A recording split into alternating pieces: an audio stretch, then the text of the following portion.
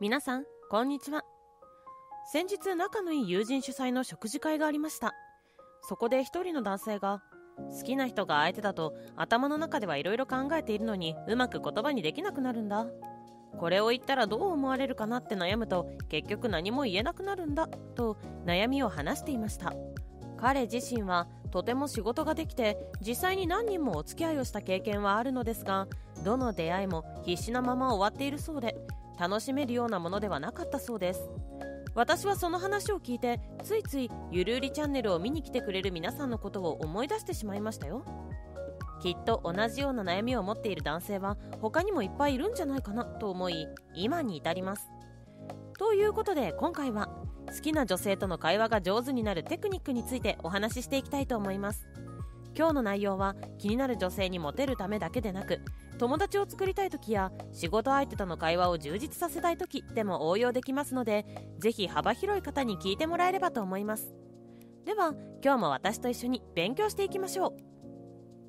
う。1出会いの瞬間の笑顔。出だしの印象って本当に大切なんですよね。例えば仕事の打ち合わせで相手の方と顔を合わせた時の第一印象。無表情で引きつっていたり目を合わせられないなんてちょっとありえませんよね。そんな態度をとってしまったら相手はこの人は難しい人なのかも？と勝手に推測してしまうでしょう。でもその時に笑顔で目を合わせられたらどうでしょう？相手が感じ取る印象はガラッと変わり話しやすいかも？とか優しそうだな？といい方向にイメージを作ってくれるんですよね。これは恋愛でも同じで初めて顔を合わせる瞬間からイメージ作りは大事なんですよ。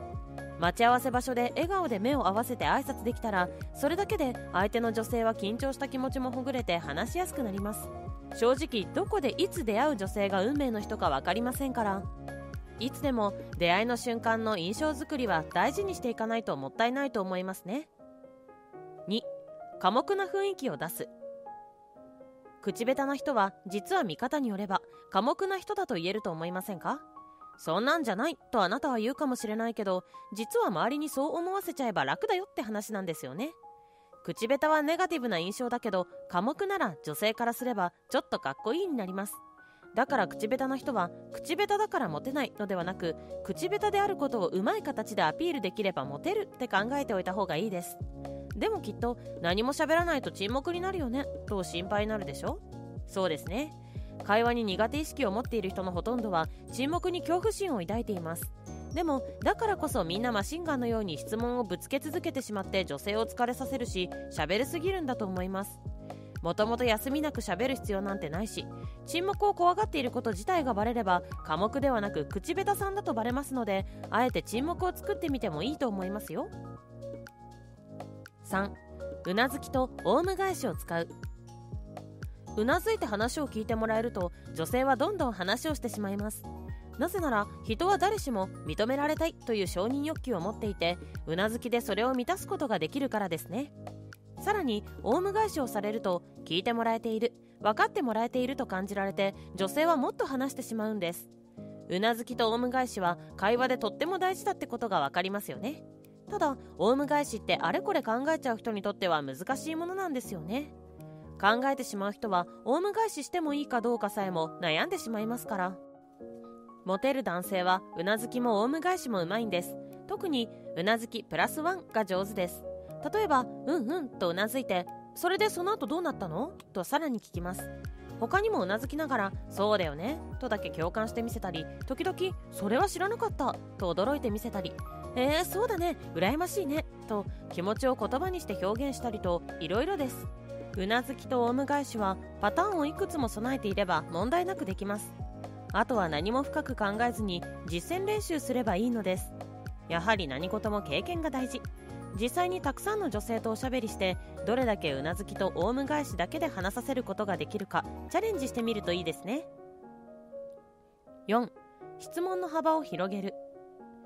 会話に大事な 5W1H の話を聞いたことありますか？これは質問をするときにいつどこで誰と何をというように幅を広げるコツなんですね。例えば洋楽を聴くのが趣味ですという会話が出た時にいつからハマってるんですか？初めて聞いたグループは？その曲を歌ってるのはどんな人なんですか？いっぱい洋楽ってあるのになんでそのジャンルにはまったんだろうね？なんていろいろな方向で質問できるんですよ。いろいろ質問ができれば女性もその質問に答えようと一生懸命考えてくれるものです。特に自分の好きな趣味についての話であればなおさらしっかり答えたいからしっかり考えてくれるでしょう。そんな中身の濃いやり取りの時間を作れるのが幅を広げるメリットだとも言えますね。ただ相手の性格によっては本当に興味持って聞いてんのかななんて疑ってくる人もいると思います。だからあまりにも適当に広げすぎないこと。どこかで本気で食いついて深掘りすると相手も喜びます。あと次回会った時にちゃんとその話を覚えておくことです。たまに「どこ出身だっけ?」と何回も会っているのに何回も聞く人がいるんですね。そういうのはなんとなくで質問してるんだなってバレちゃうから気をつけましょ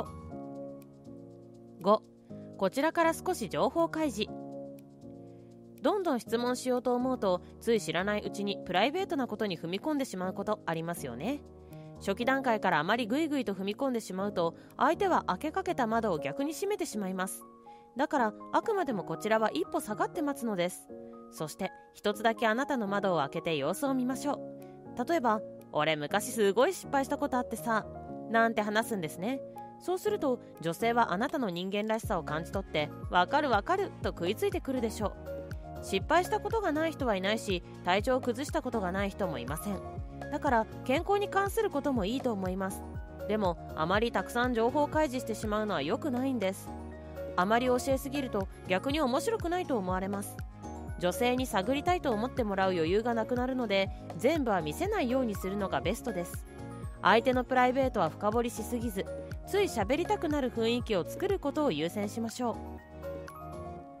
う。6脈ありをチラ見せ。楽しい趣味の話を続けて仕事の悩みも話してわかるという共感も生み出すことができたのに告白したら振られたってパターンも実際にあります。この場合のほとんどの原因はあまりにも下心を見せなさすぎたからです。女性はあなたのことを警戒しないで心を開いてくれるけどそれが友達としてと思われていたらいざ告白しても驚かれるだけなんですね。最初から恋人候補として見ているのなら必ず会話のどこかで「可愛いね」とか「素敵とか「どんな人がタイプなん?」とか恋愛に絡んだ質問や発言もしていかないといけません。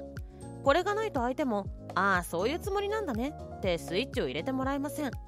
もし相手になしって思われたなら早い段階で避けられるだろうしこちらがサインを出しているのにもかかわらず一緒にいてくれるなら告白もほぼ成功するって早い段階で分かります。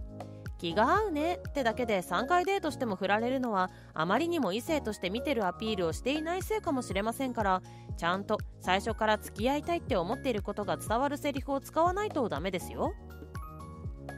以上モテる人が自然にやっている会話テクニックについてご紹介しました。今回は口下手な方や会話に苦手意識を持っている人に特別意識を向けてのテクニック紹介になりましたがいかがでしたか？参考になれば嬉しいです。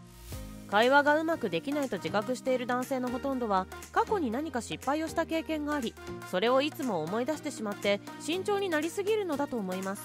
ただ自分ではうまく喋れないと思っている男性も相手の話を聞くのはうまいとかブレない芯を持っているなど誰にも負けない強みがあると思います。それさえあれば怖いものはありません。モテる道は絶対に開けますので自信を持ってくださいね。では今回の動画は以上になります。この動画が気に入っていただけましたらグッドボタンとチャンネル登録をお願いします。最後までお付き合いいただきありがとうございました。